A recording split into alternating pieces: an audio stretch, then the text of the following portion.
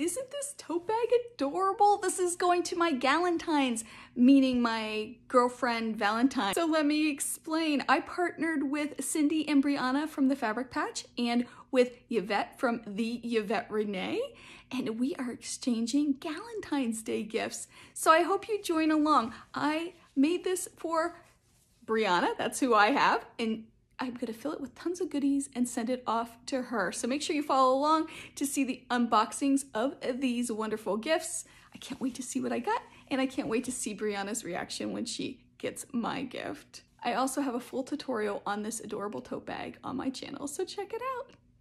I hope you join us in celebrating Valentine's Day this year and sending a quilty gift to your favorite quilter.